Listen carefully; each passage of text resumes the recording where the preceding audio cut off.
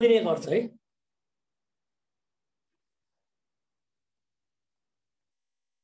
चौध अङ्कको यसबाट क्वेसन भनेको सोध्ने गर्दछन् जुन यो सार्वजनिक व्यवस्थापन अन्तर्गत के के पर्नुपर्छ भने सबभन्दा पहिला हामीलाई कार्यालयको परिचय कार्य र प्रकार है। यसमा हामीलाई एक पोइन्ट एकमा एक पोइन्ट एकमा कार्यालयको होइन बारेमा पढ्नुपर्छ त्यसमा पढ्नुपर्ने के हो त परिचय परिचय पढ्नुपर्ने त्यसपछि प्रकृति परिचय महत्व परिचय महत्व कार्य र प्रकार यो च्याप्टरबाट भनेको कार्यालयबाट परिचय महत्व कार्य र प्रकारको बारेमा हामीलाई पढ्नुपर्छ है। अब सबभन्दा पहिला हामी यो कार्यालयको परिचयको बारेमा है। कार्यालय केलाई भनिन्छ है? एउटा इङ्ग्लिसमा के कहावत छ भने office is the heart of an organization भनेको कार्यालयलाई कुनै पनि सङ्गठनको मुटु भन्छ है। कार्यालयलाई कुनै पनि सङ्गठनको के भन्छ त? मुटु भनेर चिनिन्छ त्यही भएर साङ्गठनिक उद्देश्य तथा लक्ष्य हासिल गर्नका लागि व्यवस्थापकीय र प्रशासनिक कार्यहरू सम्पादन गर्न तोकिएको क्षेत्र वा स्थान नै के हो त? कार्यालय। है कार्यालय भनेको के हो त? कुनै पनि सङ्गठनको जुन उद्देश्य हुन्छ है कुनै पनि सङ्गठनले के गर्छ भनेको उद्देश्य लिएर केही खोलिएको हुन्छ है त्यो सङ्गठन। होइन यो के हुन्छ त? उद्देश्य कुनै निश्चित उद्देश्य हुन्छ त्यसको लक्ष्य हुन्छ होइन?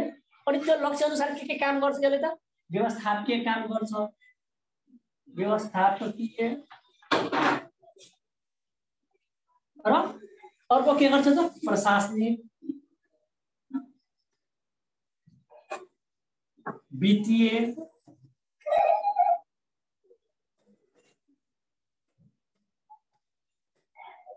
यो तिनवटा के गर्छ भने पनि सङ्गठनमा कार्य गर्नको लागि त्यसले आफ्नो लक्ष्य र उद्देश्य प्राप्ति गर्नको लागि यो लक्ष्य र उद्देश्य प्राप्ति गर्नको लागि यसले व्यवस्थापकीय कार्य गर्छ प्रशासनिक कार्य गर्दछ र वित्तीय कार्य गर्दछ है। त्यो यो तिनैवटा कार्य गर्नको लागि अर्थात् यी कार्य गर्नको लागि कुनै तोकिएको स्थान हुन्छ वा क्षेत्र हुन्छ त्यसलाई के भन्छ त कार्यालय भनिन्छ। कार्यालय के हो त? कुनै पनि सङ्गठन अर्थात् निश्चित उद्देश्य लक्ष्य र उद्देश्य प्राप्ति गर्नको लागि व्यवस्थापकीय प्रशासनिक र वित्तीय कार्य गर्नको लागि तोकिएको क्षेत्र वा स्थानलाई के भन्छ? कार्यालय भनिन्छ। जहाँ तिनवटा स्रोतहरू के गर्छ त? हुने गर्दछ है। त्यो तिनवटा स्रोतहरूमध्ये कुन कुन स्रोत पर्दछ यसमा त? एक नम्बरमा भौतिक स्रोत छ। भौतिक स्रोत अब कार्यालय छ त्यहाँ डेस्क बेन्च छैन है त्यो बनेको के अरे भौतिक स्रोत साधनहरू छैन होइन के अरे द्राज छैन होइन कोठा छैन त्यो भनेको कार्यालयको लागि त भन्ने यो भौतिक स्रोत साधनहरूमा त्यो पर्ने दुई नम्बरमा कुन कुन स्रोत चाहिन्छ त एउटा यो भौतिक स्रोत साधनहरूलाई सञ्चालन गर्नको लागि यसलाई के गर्छ त सुचारू गर्नको लागि त के चाहिन्छ त मानवीय स्रोत साधन मान अर्को के चाहिन्छ यसमा त मानवीय साधन यो मानवीय साधन पनि चाहिन्छ। अर्को तिन नम्बरमा के चाहिन्छ त? वित्तीय साधन है। वित्तीय स्रोत। यो भनेको तिनवटा के चाहिन्छ यसमा त स्रोतहरू हुने गर्छ। एउटा के हो त? भौतिक स्रोत मानवीय स्रोत र वित्तीय स्रोत। हो जहाँ के हुन्छ त? आवश्यक मानवीय तथा भौतिक र वित्तीय स्रोत साधनहरूको व्यवस्था गर्नुको साथै सम्पादित कार्यहरूको के गर्छ भने त यी कार्यहरूको अभिलेख राख्ने। यी कार्यहरूको के गर्छ त? अभिलेख राख्ने गर्दछ है। त्यो डिटेलमा नोटमा छ। त्यो नोटबाट हामी उपलब्ध गराउँछौँ। त्यो हामी बुझ्ने पोइन्ट मात्र बुझ्नु कार्यालय के हो त? बुझ्नको लागि अब कुनै पनि कार्य गर्ने ठाउँ है। तर सबै कार्य गर्ने ठाउँ भनेको कार्यालय होइन किनभने यो निश्चित उद्देश्य लक्ष्य र उद्देश्य प्राप्तिको लागि त भन्छ होइन तर निश्चित लक्ष्य र उद्देश्य प्राप्तिमा के हुन्छ भने त निश्चित लक्ष्य र उद्देश्य प्राप्तिमा के हुन्छ भने खेतमा पनि काम गर्न जान्छ। जहाँ पनि एउटा लक्ष्य लिएको हुन्छ उद्देश्य लिएको त्यो ठाउँ काम गर्ने ठाउँ पनि हो तर त्यसलाई हामी के गर्छौँ त कार्यालय भन्न सक्दैन। किन कार्यालय भन्न सक्दैन भने त्यहाँ त लक्ष्य र उद्देश्य छ। तर भनेको कुन कुन काम हुन्छ त व्यवस्थापकीय कार्य प्रशासनिक कार्य वित्तीय कार्य त्यहाँ हुँदैन। होइन? र ती साथै के हुन्छ यहाँ त भौतिक स्रोत मानवीय स्रोत र वित्तीय स्रोतको अभिलेख पनि राख्ने काम गर्नुहुन्छ है त्यसै अनुसार अर्को के परिभाषामा यसलाई भन्न सक्छौँ भने कार्यालय सङ्गठनका क्रियाकलापहरूको पोस्ट कर है? एउटा हामी पोस्ट करको बारेमा बुझौँ है? पोस्ट कर भनेको के हुन्छ त? यो पोस्ट कर यो पोस्ट कर भनेको के हो त यसमा हामी यो पोस्ट करबाट पनि एउटा परिभाषा हामी निकाल्न सकिन्छ है। यो पोस्ट करबाट के भन्न सक्छ सङ्गठनका भनेको कार्यालय सङ्गठनका क्रियाकलापहरूको पोस्ट कर सम्बन्धी गर्ने स्थानलाई के भन्छ त कार्यालय भन्छ है। यो पोस्ट कर भनेको के हो त यसलाई हामी प्लानिङ भन्छौँ है। प्लानिङ। यसलाई के भन्छ त? प्लानिङ भन्छौँ यसलाई अर्गनाइजेसन भन्छ है। अर्गनाइजेसन। अरू अर्गनाइजिङ पनि भन्न सकिन्छ है। प्लानिङ अर्गनाइजिङ हो है। यसलाई भन्छ स्टाफिङ। के भयो प्लानिङ अर्गनाइजिङ स्टाफिङ होइन? अर्को डाइरेक्टिङ। यसलाई डाइरेक्टिङ भन्छौँ होइन? अर्कोलाई यसलाई के भन्छ त? कोअर्डिनेसन कोअर्डि कोअर्डिनेसन अर कोअर्डिनेटिङ भन्छौँ। कोअर्डिनेटिङ कोअर्डिनेटिङ अर्कोलाई हामी के भन्छ त? रिपोर्टिङ भन्छौँ।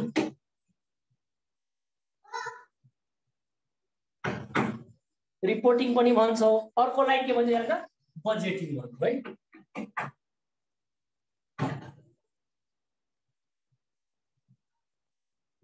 यसलाई अर्कोलाई के भन्छ त? बजेट है यी पोस्ट कर है। यसलाई के भन्छ? सिम्पल भाषा हामी के लेख्न सक्छौँ पिओएसडी सिओआरडी है। यो पोस्ट करको के हुन्छ त? सम्बन्धित कार्य हो। त्यसलाई के भन्छ त? कार्यालय भन्छ। कस्तोमा त सङ्गठनका क्रियाकलापहरूको प्लानिङ गर्ने अर्गनाइजिङ गर्ने स्टाफिङ गर्ने डाइरेक्टिङ गर्ने कोअर्डिनेटिङ गर्ने होइन रिपोर्टिङ गर्ने र बजेटिङ गर्ने जुन स्थान हो त्यसलाई हामी के भन्छ कार्यालय यो कार्यालयको अर्को के छ भने डिक्सनरी अनुसार है मान्छेको भनाइ र डिक्सनरी अनुसार पनि फरक फरक हुन्छ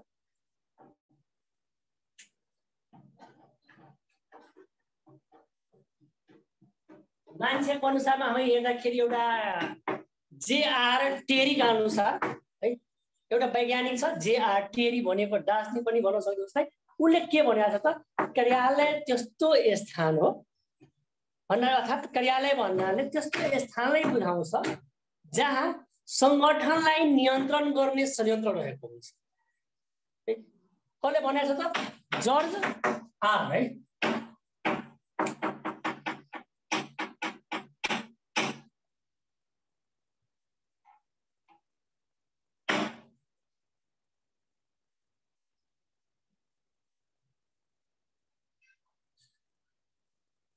जर्ज आर भनेको एउटा व्यक्ति छ है। George R.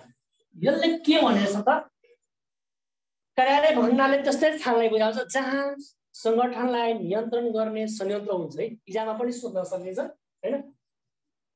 कार्यालय भन्नाले त्यस्तै स्थानलाई जनाउँछ जहाँ सङ्गठनलाई नियन्त्रण गर्ने संयन्त्र हो भन्ने भनाइ कसको हो भनेर जर्ज आरको छ है। त्यो पनि नोटमा छ है?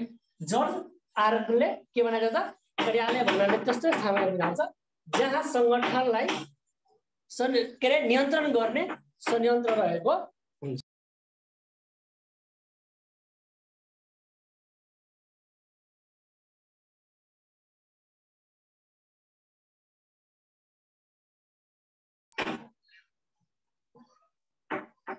अर्को के छ त हामीलाई एउटा अक्सफोर्ड डिक्सनरी छ है। त्यो अक्सफोर्ड यो डिक्सनरी ने के डिफाइन गरेको छ त भने त कार्यालयलाई a room department or building a room department or building use to provide a particular service like Oxford डिक्सनरीको ला केले भनेको छ त्यसले त a room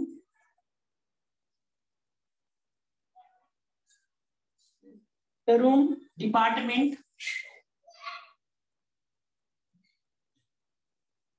right?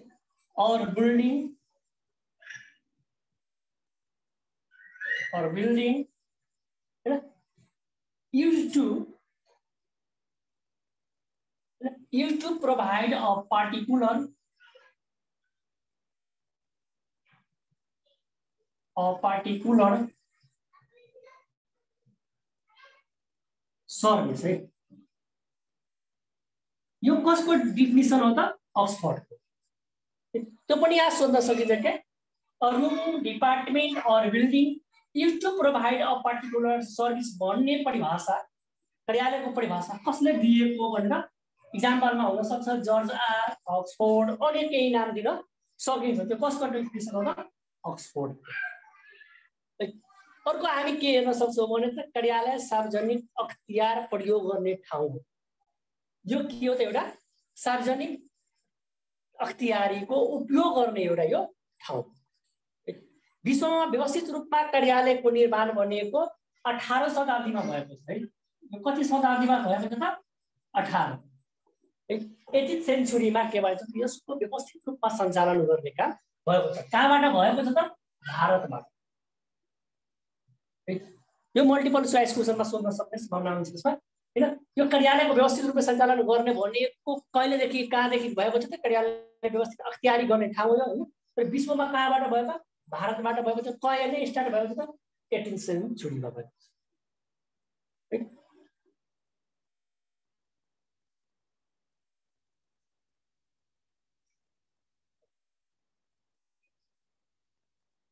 अब हेर्नु है। यो संस्थाको कार्यालय भनिएको संस्थाको उद्देश्य अनुसार है संस्थाको उद्देश्य अनुसार भनेको कति किसिमको हुन्छ त यसले? दुई प्रकारको हुन्छ है। संस्थाको उद्देश्य अनुसार भनेको दुई प्रकारको हुन्छ। भने कर्तव्य सेवा र नफाको आधारमा। यो भनेको कर्तव्य सेवा र नफाको आधार के को आधारमा त? कर्तव्य सेवा र नफा है। यो तिनवटा वार्ड वर्डलाई हेर्नु है। कर्तव्य सेवा र नफाको आधारमा कार्यालय भनेको तिन किसिमको हुन्छ। यो भने कति किसिमको हुन्छ त? तिन किसिमको यो हुने भने एउटा सरकारी व्यावसायिक र सेवा सम्बन्धी योबाट कति किसिमको हुन्छ त? तिन किसिमको सरकारी व्यवसायिक र सेवा सम्बन्धी सेवा सरकारी सेवाको हामीले भन्नै मिल्दैन सरकारको समितिमा भएको हुन्छ। व्यवसाय भनेको निजी क्षेत्रहरू भयो होइन सेवा भनेको कस्तो हुन्छ भने रेड क्रसहरू भयो है? जुनले सेवामुखी भावना लिएर के गर्छ त सञ्चालन गरेको हुने गर्छ है? त्यो के भन्छ कार्यालयको प्रकार भनेको के को आधारमा त कर्तव्य सेवा र नाफाको आधार है? हेर्नु पर्दैन है? यो नामैले आफ्नो के गर्छ प्रकारलाई छुट्याएर कर्तव्य सेवा र नफा तिनवटा तिनवटा कुन कुन हुन्छ त? सरकारी व्यवसाय जसलाई हामी निजी पनि भन्न सकिन्छ है। यसलाई निजी पनि भन्न सकिन्छ है। अर्को के हो त? सेवा हो। यो कर्तव्य सेवा र नफाको धर्म कार्यालयलाई तिन प्रकारमा बाँडिएको छ। सरकारी व्यवसाय त्यसलाई निजी पनि भन्न सकिन्छ र सेवाको धर्म है। तर उद्देश्यको आधारमा फेरि कति किसिमको बाँडिएको त? दुई किसिम यो के भयो त? कार्यालयको परिचय हामी कार्यालयको परिचय यति बुझ्न सकिन्छ है। अर्को हामी कार्य हेरौँ। कार्यालयका कार्यहरू है। कार्यालयको कार्यमा हेर्दाखेरि के के कार्य हुन्छ है।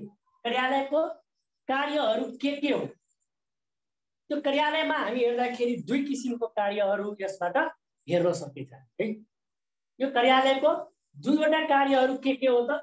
प्राथमिक कार्य। प्राथमिक र जिटिए है अर्को के हेर्न सक्छ यसको त? द्वितीय कार्य। यो प्राथमिक कार्य र द्वितीय कार्य। गरी कार्यालयको प्रकार भनेको दुई किसिमको हुने गर्छ। एउटालाई हामी यसलाई नियमित कार्य पनि भन्छौँ है। यसलाई के भन्छ त? नियमित कार्य। यसलाई प्रशासकीय कार्य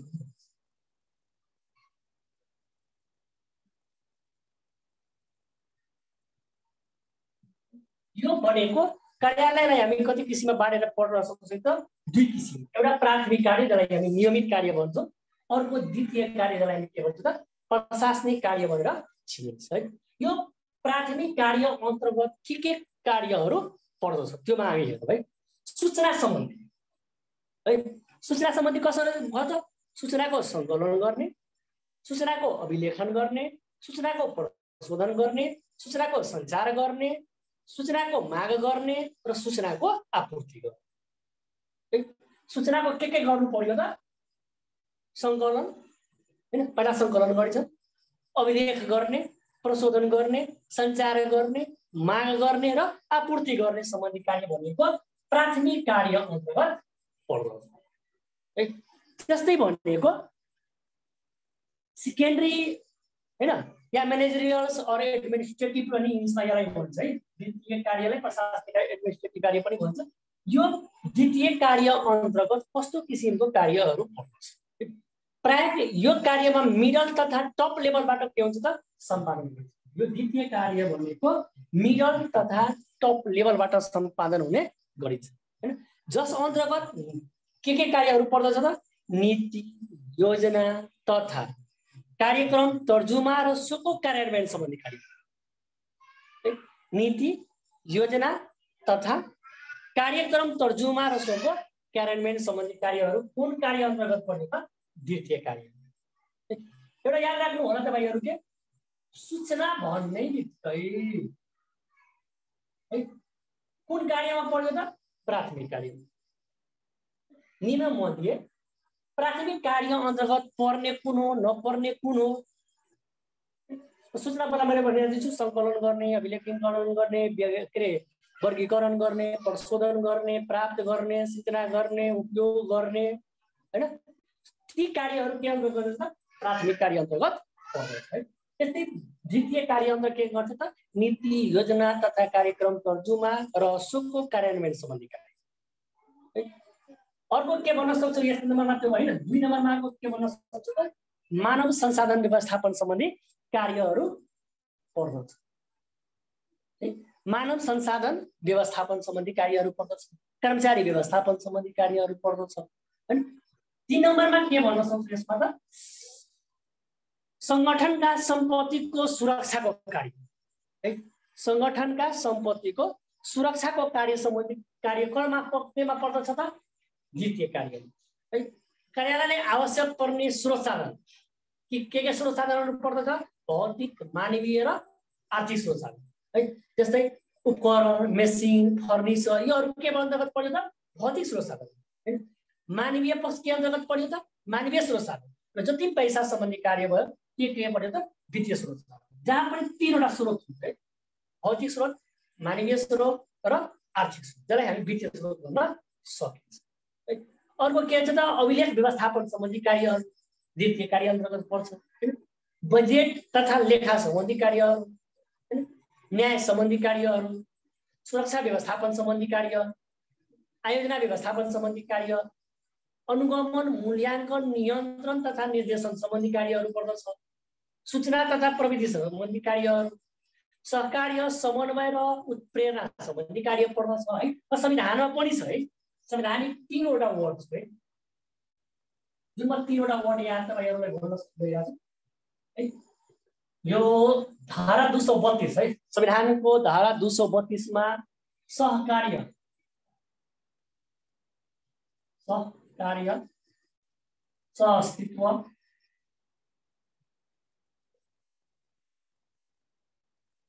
र समन्वय यो तिनवटा छ है धारा दुई सौ बत्तिसमा छ है संविधानको धारा दुई सौ बत्तिस सङ्घ प्रदेश स्थानीय तहको अन्तर सम्बन्धी फर्स्टै पोइन्टमा के छ भने सङ्घ प्रदेश र स्थानीय तहले सहकार्य अस्तित्व र समन्वयको आधारमा अन्तर सम्बन्ध राखिनेछ भन्ने कुरा बनेर है। यो सहकार्य स्वास्थ्य र समन्वय गर्ने काम कुन कार्य अन्तर्गत पऱ्यो त वित्तीय कार्य अर्थात् व्यवस्थापकीय।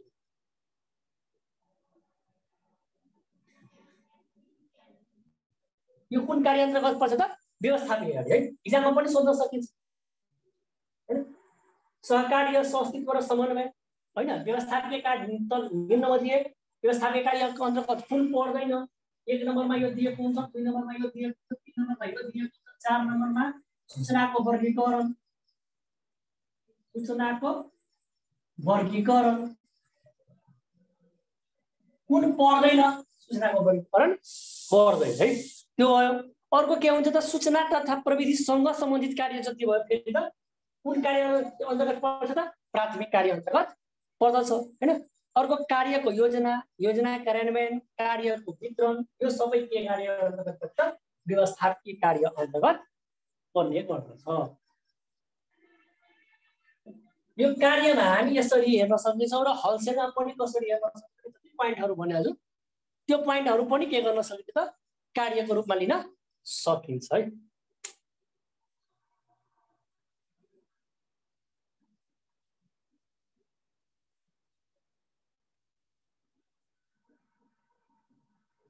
अर्को हामी के हेरौँ त? कार्यालयको महत्त्व होइन? इम्पोर्टेन्स अफ अफिस कार्यालयको महत्त्व। महत्त्व। यो कार्यालयको महत्त्वमा हेर्दाखेरि के के हेर्न सकिन्छ भने यसमा त एज अ इन्फर्मेसन सेन्टर यो सूचना केन्द्रको रूपमा रहेको छ है हामी कसरी हेर्न सक्छौँ त सूचना केन्द्रको रूपमा है सूचना केन्द्रको रूपमा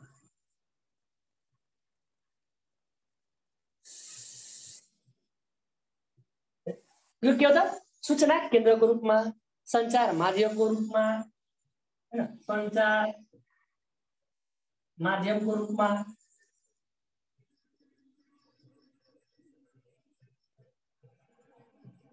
सञ्चार माध्यमको रूपमा भयो। अर्को के हुन्छ त? समन्वय केन्द्रको रूपमा होइन? व्यवस्थापकीय नियन्त्रणको रूपमा सेवा केन्द्रको रूपमा मध्यकर्ताको रूपमा जनसम्पर्क केन्द्र भयो सेवा केन्द्र भयो समन्वय केन्द्रको रूपमा सञ्चार केन्द्रको रूपमा अभिलेख केन्द्रको रूपमा व्यवस्थापन केन्द्रको रूपमा सहयोग केन्द्रको रूपमा यी के भयो त? कार्यालयको महत्त्व। तपाईँहरूलाई कसरी सोध्न सक्छ यसबाट क्वेसन त तिनमा मैले लेख्छु है एउटा सेवा केन्द्र।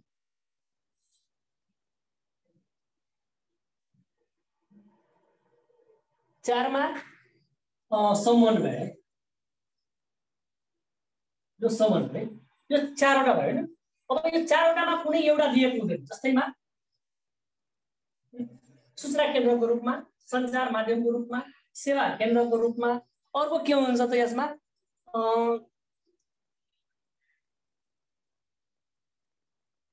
सहयोगको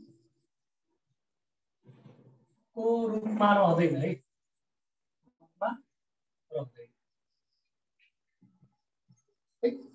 यस्तोमा सोध्न सक्छ? मल्टिपल चोइस क्वेसन यस्तोमा के हुन्छ भने सेकेन्डरी क्वेसन के भन्छ त? अब यसमा त माथिको जति दिएको त्यो पदामा तलमा क्वेसन के भन्न सकिन्छ त? होइन? कुन भनाइ सही हो? एक दुई तिन मात्र ठिक? दुई तिन चार मात्र ठिक? चार ठिक? तिन र दुई ठिक है? त्यस्तोमा भन्दाखेरि हामी के पर्छ भने त यो महत्त्व अन्तर्गत के के पर्दछ है?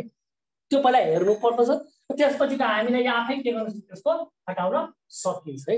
एक दुई तिन मात्र ठिक भनेको यसमा देख्नुहुन्छ अप्सन जुन हुन्छ त्यो राइट हुन्छ। है? पुनः एकचोटि भन्छु के? यसको महत्त्वहरूको पोइन्टहरू भन्न गइरहेको छु। मैले ठुलो पोइन्टहरू पनि राखेको छैन। यसमा सानो सानो पोइन्टहरूको रूपमा हामी हेर्न सकिन्छ। सूचना केन्द्र। हेलो। सञ्चार माध्यमको रूपमा। समन्वय केन्द्रको रूपमा। होइन? अर्को व्यवस्थापकीय नियन्त्रणको रूपमा।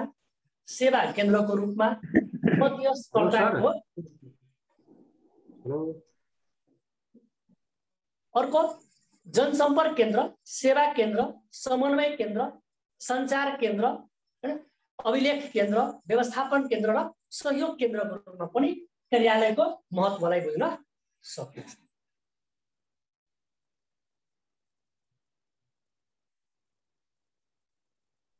अब हामी हेलो सर सुनिराख्नु भएको छ? ल भन्नु त। ए, यो नोट दिइराख्नु भएको चाहिँ कस्तो छ सर नोट सबैको नोट पाउनुहुन्छ है। यो चाहिँ स्लाइडमा चाहिँ भएपछिमा चाहिँ स्लाइडमा चाहिँ देखाएर छ राम्रो राम्रो देखिन्छ। स्लाइडमा पनि हामी व्यवस्था गर्न सक्छौँ। किनभने टाइप गरेर चाहिँ यसलाई स्लाइड बनाउन त टाइम लाग्दैन होइन? हजुर तर यहाँ स्लाइड गर्नको लागि यहाँ त फेरि यताबाट स्लाइडबाट त चल्दैन यहाँ। चाहिँ त्यही त अब चाहिँ स्लाइड भयो भने अलि चाहिँ राम्रो हुन्थ्यो। बोर्डमै लेखेर भन्दा सही हुन्छ क्या स्लाइडभन्दा कम्प्युटरको स्लाइडभन्दा बोर्डमै सही हुन्छ जस्तो लाग्छ बोर्डमा चाहिँ लेखाएपछि फेरि चाहिँ राम्रोसँग चाहिँ नोट लेखाए जस्तो गरेर चाहिँ लेखाए पनि चाहिँ राम्रो हुन्थ्यो र।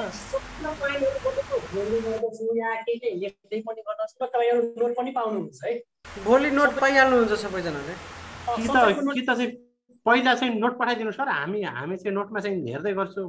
गर्छौँ फेरि तपाईँ चाहिँ एक्स- एक्सप्लेन चाहिँ गर्दै गर्नु होला। एक्सप्लेन गर्दै गर्नु होला। हामी चाहिँ नोट चाहिँ हेर्दै पढाइसकेपछि सम्बन्धित क्वेसनको जुन छ नि नोट सम्बन्धित च्याप्टरको नोट म तत्काल त्यहीँ पढाइदिन्छु। होइन? अलिक सुरुमा पढेर त्यसपछि नोट पढ्दाखेरि राम्ररीसँग बुझिन्छ है। अलि फास्ट भयो सर। फास्ट भयो? अँ अलि फास्ट भयो।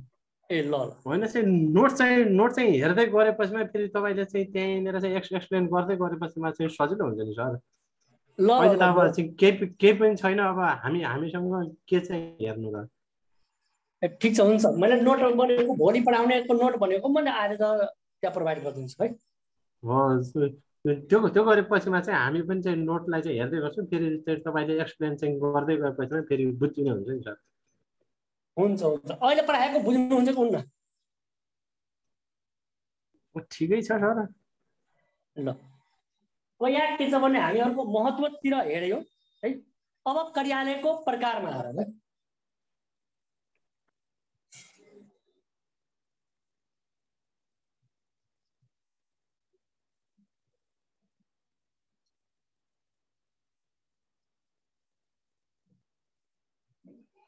कार्यालयको प्रकारमा हेर्नु कार्यालयको के छ भने कुनै निश्चित प्रकार हुन्छ भने अहिलेसम्म किटान गरिएको छैन है कार्यालयलाई यति नै प्रकारको हुन्छ भने यकिनका साथ किटान गरी जानकारी दिने हालसम्म व्यवस्थापनमा कुनै पनि किसिमको अवधारणा वा विचारधारा आएको छैन अनि कार्यालय यति प्रकारको हुन्छ भने कुनै निश्चित यसको पनि छैन तर राष्ट्रिय अन्तर्राष्ट्रिय र वर्तमान प्रचलनमा रहेका कार्यालयलाई होइन? विभिन्न आधारमा हामी हेर्न सकिन्छ है? एउटा के को आधारमा त शासकीय संरचनाको आधार है? एक नम्बरमा हामी शासकीय संरचनाको नाम है? यो शासकीय संरचनाको आधारमा हामी कुन कुन कार्यालय हेर्न सक्छौँ त? तिनवटालाई है? सिएफएल है?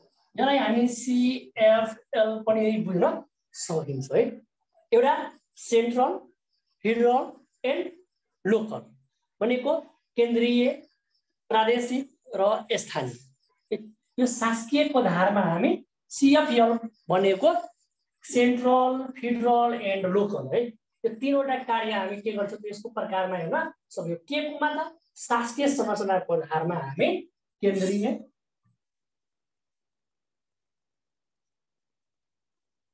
एक नम्बरमा दुई नम्बरमा प्रादेशिक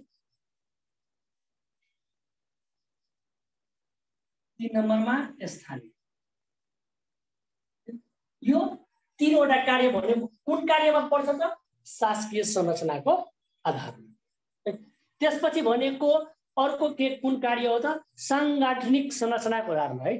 साङ्गाठनिक संरचनाको आधारमा पनि तिनवटा हामी पढ्छौँ है? विनियम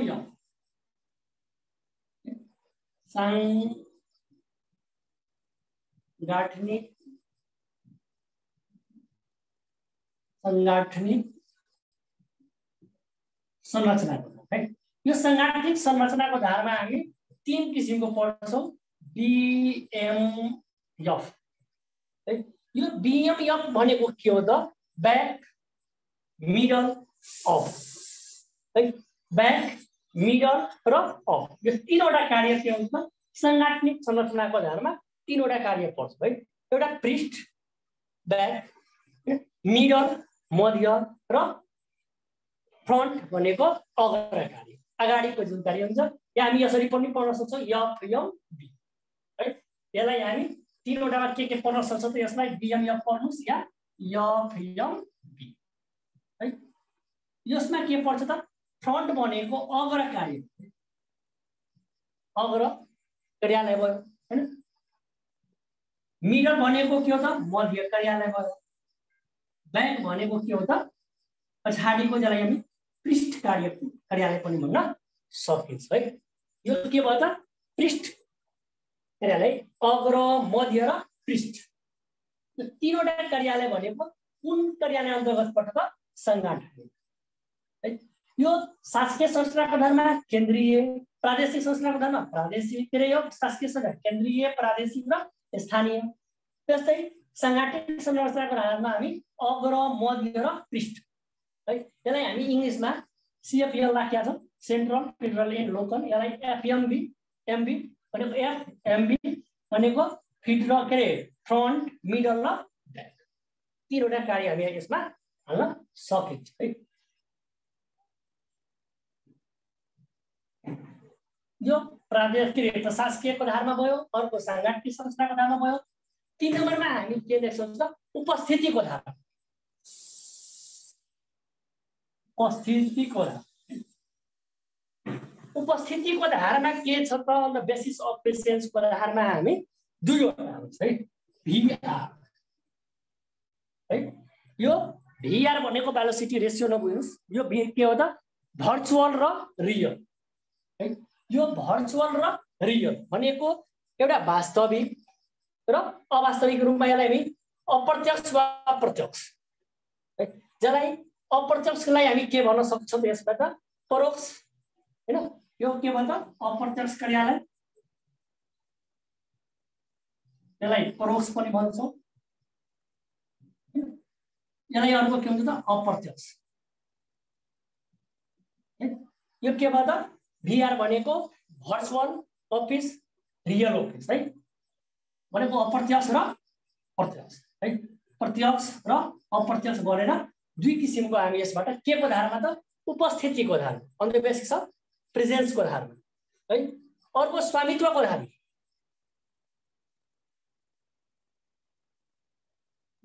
स्वामित्वको धारमा पनि हामी कार्यालय हेर्न सकिन्छौँ स्वामित्वको धारमा हेरौँ पहिला। अर्को के छ त? स्वामित्व on the basis of ownership है। स्वामित्वको धारमा हामी कार्यालय हेर्दाखेरि यो पनि के हुन्छ त? टिभी है। टिभी पब्लिक र प्राइभेट है। पब्लिक र प्राइभेट भनेको यो यसलाई पिबी भन्छौँ। पिपी भनौँ है। स्वामित्वको धारमा भन्दाखेरि कति किसिमको हुन्छ त्यसमा त? पिपी पब्लिक गभर्मेन्ट अफिस होइन? अर्को के हुन्छ? त प्राइभेट अफिस हुन्छ होइन? एउटा सार्वजनिक एउटा सार्वजनिक भयो। अर्को के भयो त? निजी यसलाई पब्लिक र यसलाई प्राइभेट भन्छ है? सार्वजनिक जुन सरकारको के हुन्छ भने त? निजी स्वामित्वमा हुन्छ होइन? निजी भनेको कस्तो क्षेत्र भयो त? सरकारले बनाएको ऐन कानुनको अधीनमा रहेर होइन? सञ्चालन गर्ने जसलाई उद्यमशीलता हुन्छ होइन? कम्पिटिसन प्रतिस्पर्धाको भावना हुन्छ। नाफामुखी भन्दा सेवामुखीमा बढी केन्द्रित भएको हुन्छ। त्यो भयो के? निजी क्षेत्र। या निजी कार्यालय है? सार्वजनिक कार्यालय भनेको के हुन्छ भने त यसले एमएस इन एमसी यो कार्यमा के गर्छ भने त सञ्चालन भएको हुन्छ। है?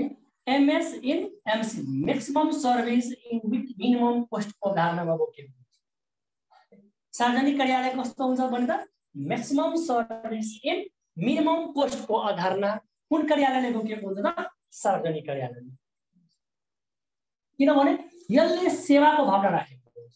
नफाको भावना राखेको हुँदैन। तर निजीले के गर्छ भने यसैलाई हामी के गर्न सक्छौँ त? MS in MC.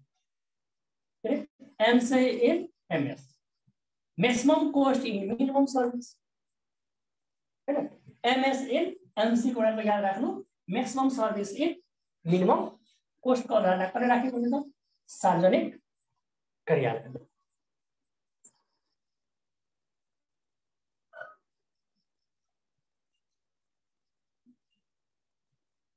यो के भन्छ कार्यालयको प्रकारमा हामी यति कुराहरू हेर्न सकिन्छ है? के को आधारमा मैले भने एउटा प्रशासकीय संरचनाको आधारमा होइन? अर्को के को आधारमा त भयो त? प्रशासकीय संरचना होइन? अर्को के हुन्छ त? साङ्गठनिक संरचना होइन? उपस्थितिको आधारमा स्वामित्वको आधारमा र यो स्वामित्वको आधारमा यो चार प्रकारको हामी कार्यालयमा पढ्यौँ र ती भित्रको पनि कार्यालयहरू हेरेका छौँ है? जस्तै प्रशासकीयमा सिएफएल होइन अर्को के त संरचनाको आधारमा साङ्गठनिक संरचनाको आधारमा हामी एफएम बी होइन फ्रन्ट मिडल एन्ड ब्याक होइन on the basis of presence उपस्थितिको आधारमा के के पढ्यो त भर्चुअल र रियल होइन स्वामित्वको आधारमा के के पढ्यो त हामी पिपी है? Public and private public and private अब कार्यालयका व्यस्तत्वहरू एक्स्ट्रा कुराहरू यसबाट अब हेर्नु के के हुन्छ त यसको कार्यालय व्यवस्थापनका लागि चाहिने तत्त्वहरू ती के के तत्त्वबाट के हुन्छ त कार्यालयलाई हामी राम्रोसँग व्यवस्थापन गर्न सकिन्छ है? एउटा यसको लागि हामीलाई पर्सनल है? यो पर्सनल हुनै पर्छ कर्मचारी।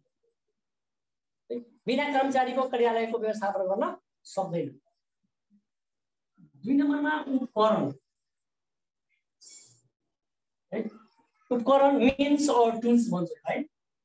मिन्स टुल्स पर्सनल कर्मचारी भयो उपकरण मिन्स अर टुल्स होइन? त्यसपछि इन्भाइरोमेन्ट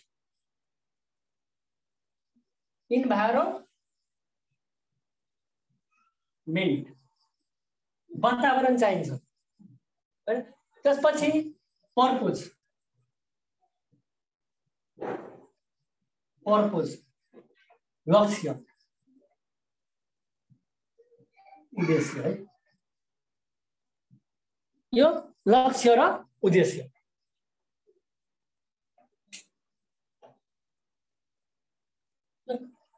कार्यालय व्यवस्थापनको लागि आवश्यक पर्ने तत्त्वहरू के के छ त? पर्सनल जसलाई हामी के भन्छौँ?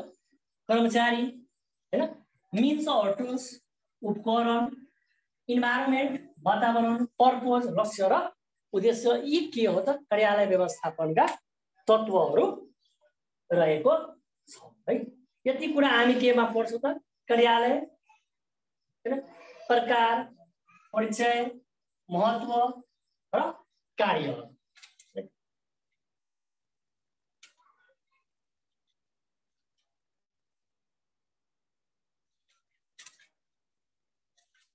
यो एट पोइन्ट एट है टु पोइन्ट एट पोइन्ट एटमा हामी जति कुराहरू यो कार्यालय व्यवस्थापनको टु पोइन्ट एट पोइन्ट एटमा यति कुराहरू हामी पढ्छौँ। है यो सम्बन्धी नबुझेको केही छ? परिचय महत्व प्रकार र कार्यमा चाहिँ केही नबुझेको केही छ?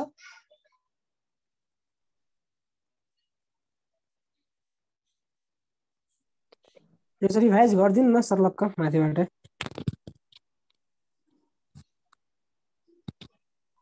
यो मैले भनेको अनुसारमा त्यो भन्नु त पहिला है। यो परिचयमा कार्य प्रकार र महत्वमा यो तिनवटा सिलेबस हाम्रो। के परिचय महत्व कार्य प्रकार। परिचय महत्व कार्य। अहिले पढाएकोबाट आउनु पर्ने क्वेसनहरू पनि सर भनिदिनु न सर। त्यो म भन्छु है। पहिला यो नबुझ्नु यो चारवटा मध्ये नबुझ्नु पर्ने केही छ? अब यो क्वेसन कसरी सोध्न सक्छ भनेर कार्यालय व्यवस्थापनका लागि चाहिने आवश्यक तत्त्वहरू के के हो क्वेसन यस्तो सोध्न सकिन्छ है। अब यो सोद्धाखेरि हामी अप्सन दिएको हुन्छ कर्मचारी उपकरण वातावरण होइन? र अर्को केही हालिदिन्छ होइन? त्यस्तै कर्मचारी उपकरण वातावरण भयो होइन? स्थायित्व भयो अब त्यो तत्त्व के चाहियो त? कर्मचारी चाहिन्छ उपकरण चाहिन्छ वातावरण चाहिन्छ लक्ष्य चाहिन्छ स्थायित्व त्यसमा चाहँदैन त्यो हो है? अर्को के सोध्न सक्छ भनेर कार्यालयको जस्तैमा शासकीय संरचनाको आधारमा निम्न मध्ये शासकीय संरचनाको आधारमा निम्न मध्ये कुन कार्यालय पर्दैन?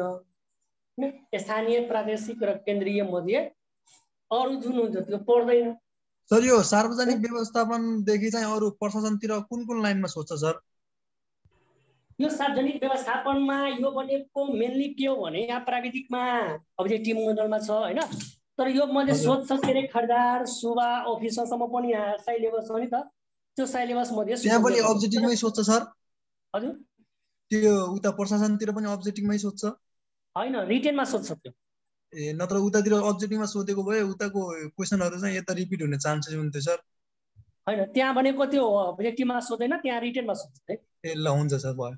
कार्यालय व्यवस्थापनका महत्त्वहरू लेख्नुहोस् कार्यालयका प्रकारबारे लेख्नुहोस् त्यस्तो कस्तो सोध्छ है। Written sir. फर्ममा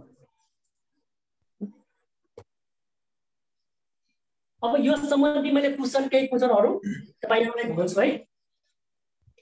सकेसम्म सर भोलिदेखि यो स्लाइड बनाएर चाहिँ स्लाइड बनाएर पढाउनु पनि राम्रो हुन्थ्यो सर। अब यस्तो स्लाइड भएको स्लाइडमा चाहिँ राम्रो फेरि त्यो हुन्थ्यो के चाहिन्छ त्यसलाई बक्सिङ गर्नको लागि त त्यस्तो हुँदैन व्यवस्था त छैन। के गर्ने अलिकति स्लाइड बनाएपछि चाहिँ हामीलाई पनि अलिकति राम्रो। ल्यापटपमा सेयर गरेर गर्दा हुन्छ भने ठिक छ सर त्यस्तै गरिदिनुहुन्छ स्क्रिन सेयर गरेर। हुन्छ। चाहिँ ल्यापटपमा चाहिँ सेयर गरेर पनि चाहिँ हो, हुन्छ? ल्यापटपमा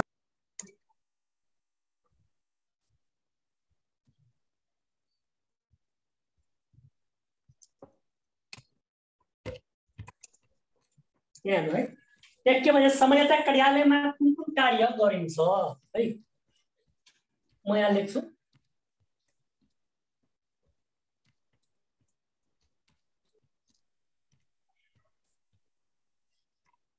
सामान्यतया कार्यालयमा कुन कुन कार्य गरिन्छ एक नम्बरमा कार्य योजना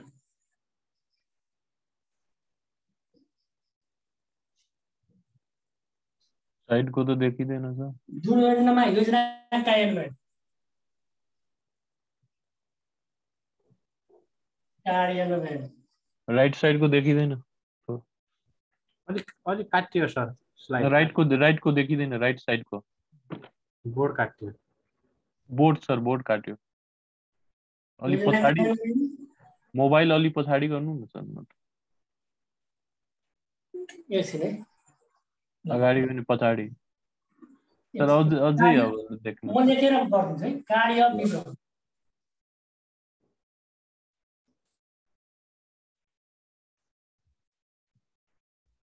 कार्य विवरण र त्यसमा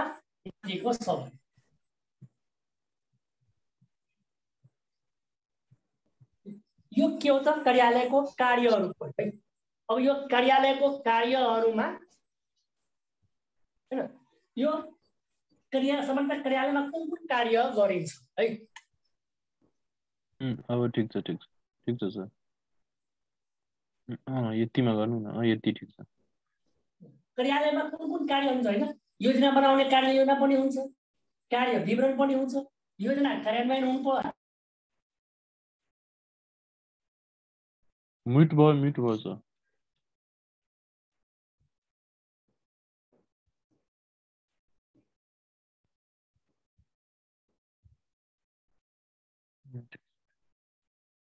त्यसरी के हुन्छ भने कार्य सम्बन्धीबाट क्वेसन सोध्छ। अर्को क्वेसन भन्दाखेरि के भन्न सकिन्छ त भन्दा जस्तैमा दैनिक कार्य सञ्चालनको सिलसिलामा कार्यालयमा कुन कुन कार्य गरिन्छ अब दैनिक कार्यमा कुन कुन हुन्छ त चिठी पत्र नीति निर्माण अभिलेख व्यवस्थापन यो कार्यहरू पनि के हो त कार्य हो होइन अब कुन कुन कार्यहरू गर्नुपर्ने भन्ने कार्यको मैले कुरै राखेर यसमा हालिदिएको छु कुन कुन कार्यहरू गर्नुपर्ने छ अर्को आएर यसबाट के हुन्छ त जस्तैमा उद्देश्यको आधारमा है अर्को क्वेसन के हाल्न सकिन्छ यसबाट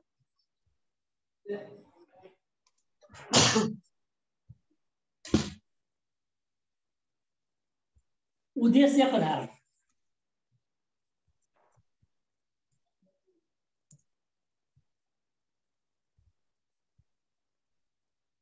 कार्यालय कति किसिमको कति प्रकारका हुन्छ मैले भने थिएँ देश कार्यालय कति प्रकारको हुन्छ त दुई तिन चार र पाँच है यो उद्देश्य आधारमा कति प्रकारको हुन्छ त दुई प्रकारको यो भयो अर्को सेवा होइन सेवाको धारमा नफाको धारमा र कर्तव्यको धारमा कति प्रकारको हुन्छ त तिन प्रकार है यो मोडलहरूमा के हुन्छ त क्वेसनहरू हाल्ने गर्दछ। अरू योको भनेको कार्यालयको महत्त्व कुन कुन हो? होइन? अब यो कार्यालयको महत्त्व कुन होइन भने है। कार्यालयको को महत्त्व कुन होइन? यो क्वेसनमा अप्सन के हाल्न सकिन्छ भने त जनसम्पर्क केन्द्र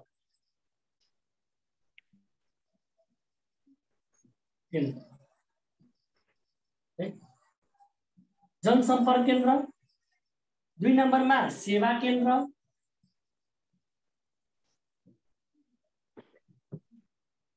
तिन नम्बरमा समन्वय केन्द्र।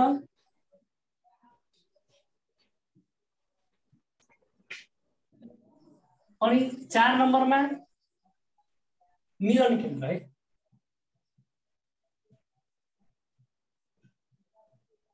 यहाँ मैले जति कार्यालयको महत्त्व भन्दाखेरि यो सबै भनेको थिएँ जनसम्पर्क सेवा र समन्वय अब यो मिलन केन्द्र यो मिलन केन्द्र भनेको कार्यालयको प्रकार फेरि महत्त्वमा पर्दैन यो मोडलमा के हुन्छ त क्वेसनहरू सोध्ने गर्दछ है।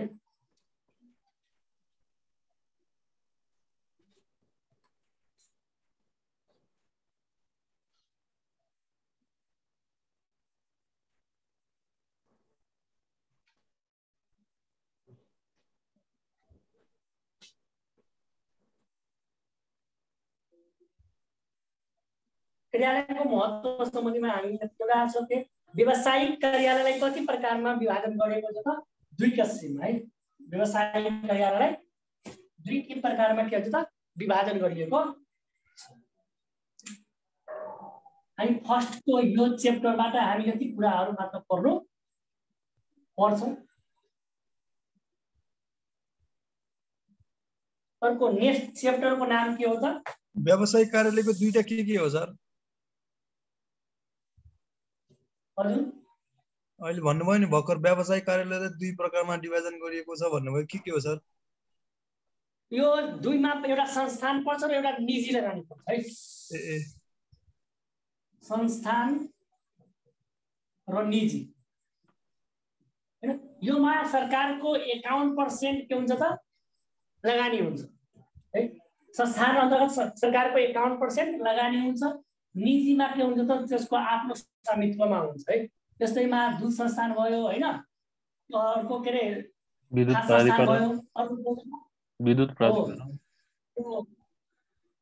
खास संस्थान भयो के अरे? आयल निगम भयो नेपाल टेलिकम भयो के भन्छ संस्थान अन्तर्गत पर्छ निजी क्षेत्र भनेको त।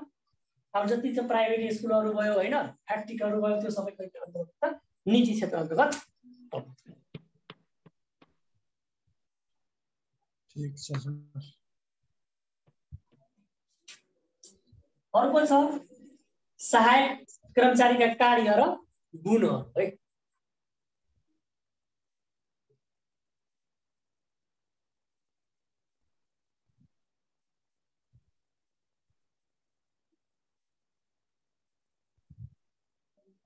यो सानो च्याप्टर छ आज मलाई यसलाई समाप्त गर्छु है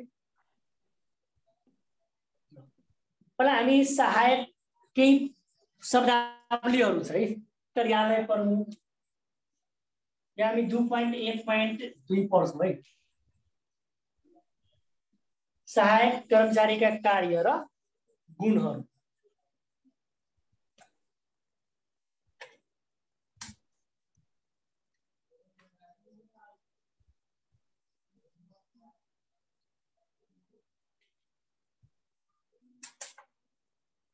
सहायक कर्मचारीका कार्यका गुणहरूमा हामी केही शब्दावलीहरू पनि हेरौँ कार्यालय प्रमुख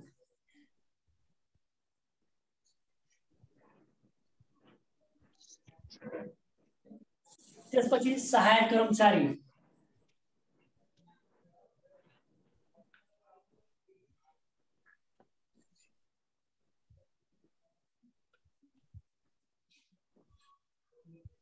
त्यसपछि फाँटवाला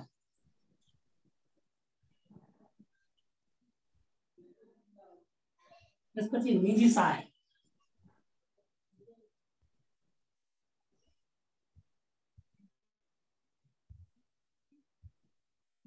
यो कार्यालयको के अरे सहायक कर्मचारीका कार्य गुण यो शब्दहरू हामी चारवटा मैले यहाँ राखेका छु त्यो चारवटा शब्दको बारेमा पहिला बुझौँ है कार्यालय प्रमुख हो यो कार्यालय प्रमुख कस्तो हुन्छ भनेर कार्यको सम्पूर्ण जिम्माले आफ्नो रेखदेखमा कार्यालयको काम गर्ने तथा गराउने।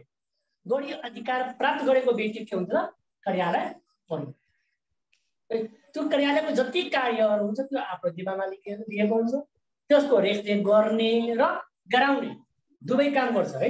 त्यसले गर्ने र गराउने गरी जुन अधिकार प्राप्त व्यक्ति हुन्छ या कर्मचारी हुन्छ त्यसलाई हामी के भन्छ त? कार्यालय प्रमुख त्यसपछि भनेको सहायक कर्मचारी।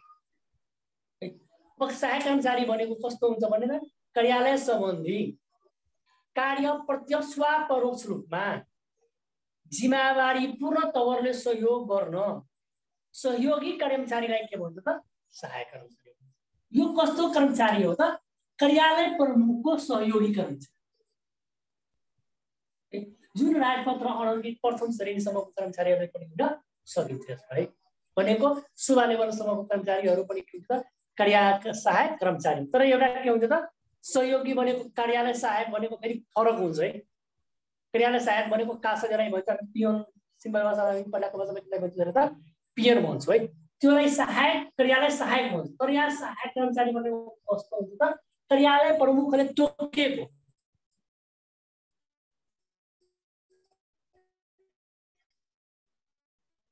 कार्यालय सहयोगी कर्मचारी हुन्छ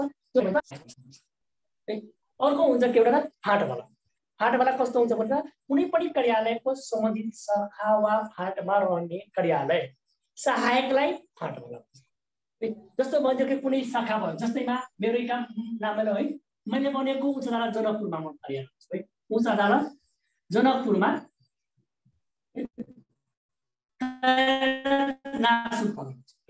यो उच्च अदालत जनकपुरको रिट फाँट छ।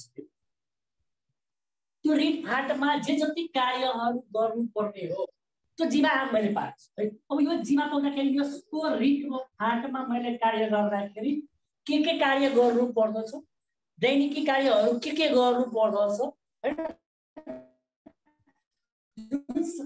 फाँटमा शाखा कार्यहरू मेरो जिम्मामा छ है। र मेरो पनि के हुन्छ त केही सहायक कर्मचारीहरू एउटा भएको यो शाखाको बनेको रिट शाखाको या फाँटको सम्पूर्ण जिम्मेवारी मैले पाएको होइन? र मेरो अलावामा अरू कुनै कर्मचारीहरू छ है मलाई सहयोग गर्ने कर्मचारीहरू पनि छ त्यसलाई के भन्छ त सहायक कर्मचारी यो भनेको फाँटवालाको पनि हुनसक्छ यो भनेको कार्यालय प्रमुखको पनि हुन सकिन्छ है एउटा के छ त निजी सहायक। है? निजी सहायक भनेको कस्तो कर्मचारीलाई भन्छ भन्दा कुनै पनि कार्यालयका प्रमुखको कार्यालय सम्बन्धी काममा सहयोग पुर्याउने सहायक स्तरका तृतीय कर्मचारीलाई निजी सहायक यो निजी सहायक कहाँ कहाँ हुन्छ त अफिसर लेभलमा पनि हुन्छ र सुबा लेभलमा पनि हुने गर्दछ। यो तिनवटा वर्ड यो चारवटा भनेको कार्यालय प्रमुख कार्यालय सहायक कर्मचारी फाँटवाला र निजी सहायक। हामीलाई पढ्नुपर्छ यसमा बढी मात्रामा सहायक कर्मचारी। यो सहायक कर्मचारीको लागि होइन? अब योमा केही शब्दहरूमा अब यो भयो है? अर्को के चाहिन्छ भने कुन पदको लागि के योग्यता चाहिन्छ है? योग्यता सम्बन्धी हामी हेरौँ। योग्यता सम्बन्धी हेर्नका लागि हामी अधिकृतको लागि के हुनु पर्यो त ब्याचलर स्नातक चाहिन्छ होइन? सुवा वा सोसरको लागि प्रमाणपत्र प्लस टू चाहिन्छ होइन?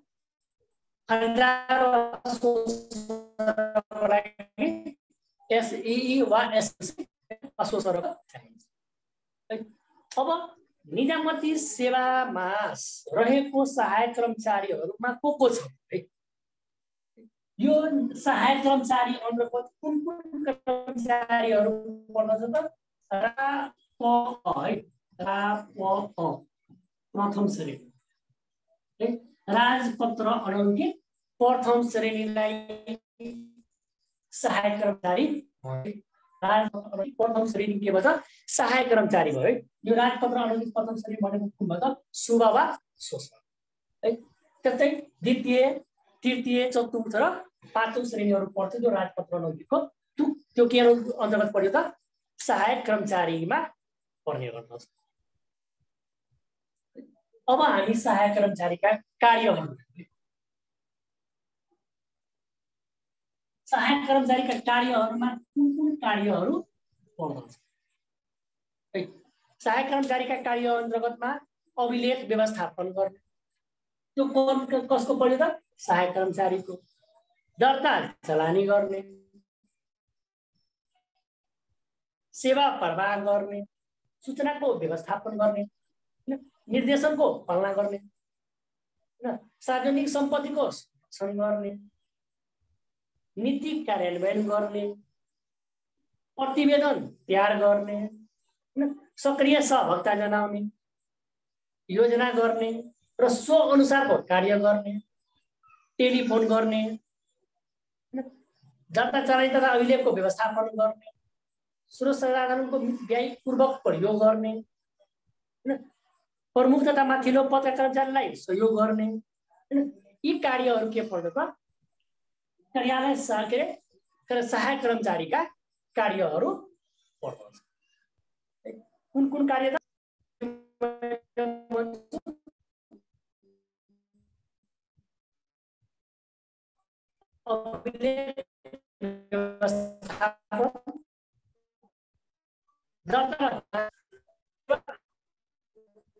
सूचना कार्यान्वयन प्रतिवेदन तयार सक्रिय सहभागिता योजना निर्माण र योजना अनुसारको कार्य टेलिफोन गर्ने होइन?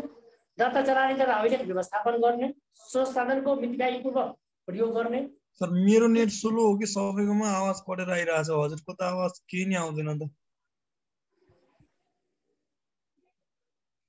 नेटको प्रब्लम पनि हुनसक्छ है।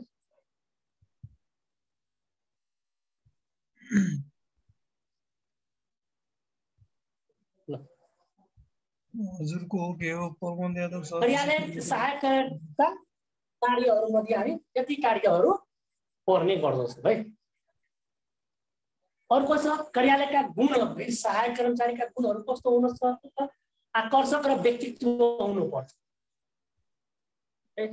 सफा सुग्घर हुन्छ। होइन कामप्रति अभिरुचि राख्ने सुन्दर व्यक्तिगतहरू मिठो बोली चाली सहयोगीको भावना विनम्रताको गुण समय पालनमा जोड तटस्थता कार्यकुशलता र अङ्गकारिता निष्पक्ष जवाबदेहिता प्रविधि मैत्री शिष्टता तत्परता विश्वासिलो आत्मविश्वास तारकी होइन परिश्र- परिश्रमी र लगनशीलता है? यो के हुनु पर्यो त? गुणहरू भनेको हुनु पर्दछ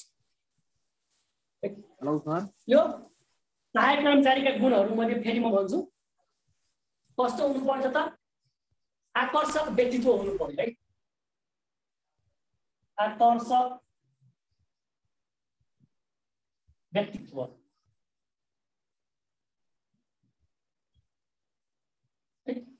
यो गुणहरू पनि हुनु पर्यो सफा सुग्घर। सरको नोट नेट लास्टै स्लो भयो सर। एकचोटि लिभ गरेर जोइन गर्दा राम्रो हुन्छ होला। के? सरको नेट धेरै स्लो हुने भयो। के के देखिरहेको छैन सुनिरहेको छैन एकचोटि लिभ गरेर सर फेरि जोइन गर्नु। ल।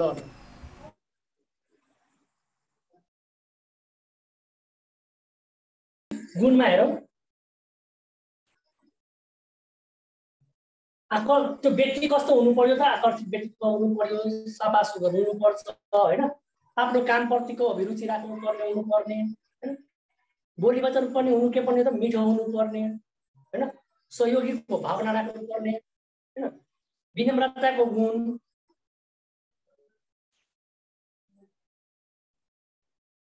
समय पालनमा जोड दिएको हुनु पर्यो उक्त ट्रस्ट कार्य कुशलता र आज्ञाकारिता निष्पक्ष र जवाबदेहिता हुनुपर्ने होइन? प्रविधि मैत्री हुनुपर्ने शिष्टा हुनुपर्ने तत्परता हुनुपर्ने विश्वासिलो हुनुपर्ने होइन? तार्किक गुण भएको हुनुपर्छ आत्मविश्वास हुनुपर्छ होइन? समयविष्ट व्यवहार विनम्र हुनुपर्छ र परिश्रमी र लगनशीलता भएको कर्मचारी हुनुहुन्छ। त्यो के हो त सहायक कर्मचारी। यति कुरा हामीमा यसमा सानो च्याप्टर छ यो। सहायक कर्मचारीको कार्य र गुण मात्र छ। यति कुरा यसबाट पढ्छु है।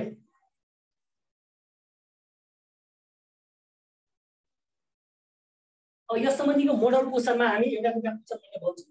कार्यालय सहायक अन्तर्गत कुन पर्दैन अप्सनमा फाँटवाला नीति सहायक सम्पर्क सहायक र प्राविधिक सहायक है? जुन मध्ये हामी फाँटवालाको बारेमा पढ्यौँ नीति सहायक पढ्यौँ सम्पर्क सहायक पढ्छौँ तर प्राविधिक सहायक पर्दैन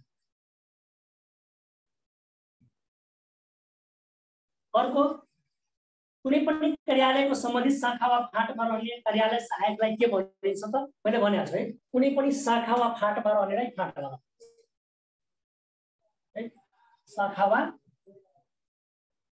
फाँटमा रहने कर्मचारीलाई फाँटवाला भन्छ ल आजको लागि मैले यति राख्छु है। कार्यालयको स्रोत साधनको बारेमा हामी भोलि पढ्छौँ।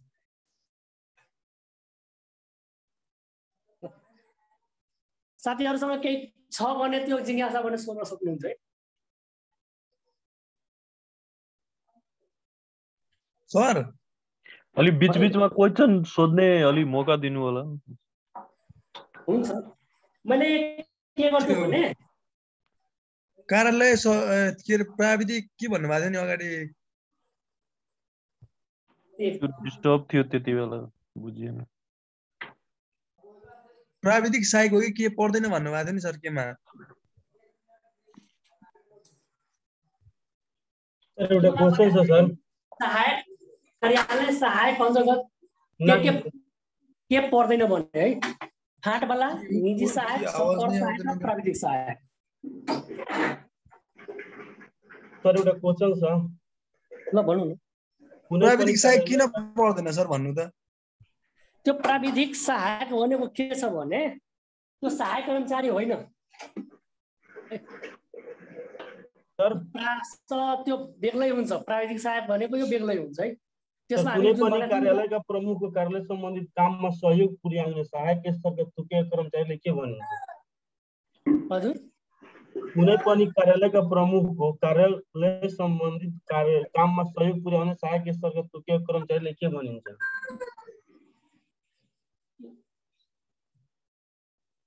त्यो प्राविधिक सहायकमा त्यो पर्दैन है। के अरे कार्यालय सहायकमा त्यो पर्दैन हाम्रो उमेश सर कता हुनुहुन्छ? लौ त लौ ठिक छ। हजुर भन्नुहोस् यतै छु। सर यो एप्लिकेसनको के भइरहेको छ सर यो?